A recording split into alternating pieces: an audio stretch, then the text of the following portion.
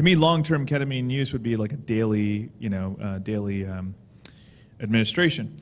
So one of the big reasons, uh, two reasons why I think uh, there would be a concern if that's the case is number one, it's metabolized by the liver. It doesn't mean that it's necessarily hepatotoxic, uh, which means that it destroys the liver, but it's metabolized by the liver. There was one study that came out um, uh, many years ago that said that ketamine can be hepatotoxic. That study has never been repeated. That study, has never been validated. Um, and that study was also, I believe, in um, you know, very high levels in rats. So you know, take it for what it's worth. Um, it is not like acetaminophen, which acetaminophen can be hepatotoxic by directly, you know, affecting the liver and destroying the liver. So I, I think um, I think part of it is uh, maybe maybe a little misunderstanding on the drug. Uh, a lot of physicians don't really understand it.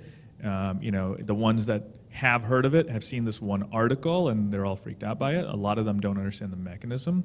Um, but that being said, uh, you know, we don't uh, quite know what uh, the person who asked the question, how much they're on, how much they're taking, and um, I think probably the bigger question should be, should you, you, should you even be on that much? You know, are you causing more damage to your nerves, which I think is probably more of a possibility than hepatotoxicity, is neurotoxicity from taking too much and inhibiting, inhibiting the NMDA receptors, thus not allowing them to function in a proper way.